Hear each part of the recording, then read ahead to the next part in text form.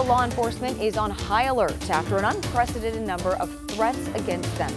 Some threats circulating online, including the name of two FBI agents who searched former President Trump's Mar-a-Lago estate. Right here in the district, workers placed fences and barriers at the FBI headquarters. Elise Preston reports a joint FBI Homeland Security memo was sent to law enforcement across the country.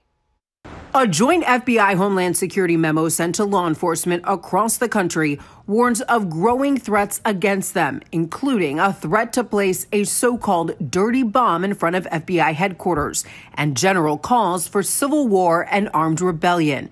The uptick follows the August 8th search of former President Donald Trump's Mar a Lago home. The memo stating the FBI and DHS have identified multiple articulated threats and calls for the targeted killing of judicial, law enforcement, and government officials associated with the Palm Beach search.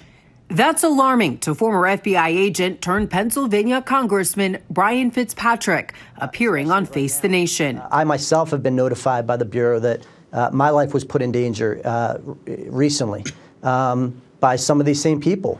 The bulletin also cites last Thursday's attempt on the FBI's Cincinnati field office, where an armed suspect failed to breach the facility and then led authorities on a pursuit and prolonged standoff that ultimately ended in his death. This is beyond politics. They're simply doing their jobs, and we have to let them do their jobs.